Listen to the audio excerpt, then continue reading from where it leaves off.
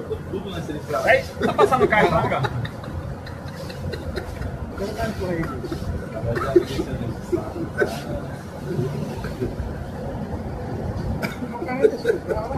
Vai pôr, vai. É, é,